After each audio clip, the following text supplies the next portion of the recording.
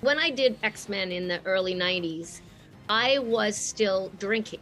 I was drinking. I was a party animal. Mm-hmm. And, uh, but since then, I quit drinking. I realized that I was an alcoholic, and I knew that uh, there was either death or life.